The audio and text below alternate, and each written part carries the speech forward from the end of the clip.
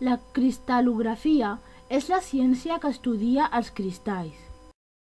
Els cristalls és una forma sòlida en la que els constituents, àtoms, molècules o ions estan empaquetats de manera ordenada i amb patrons de repetició que s'estenen en les tres dimensions espacials.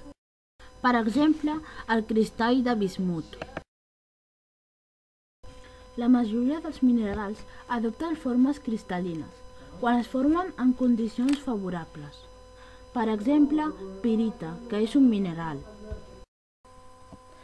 Les substàncies poden formar cristalls quan sofreixen un procés de solidificació, ja sigui pel pas de líquid a sòlid, de gas a sòlid o per la precipitació d'una dissolució saturada.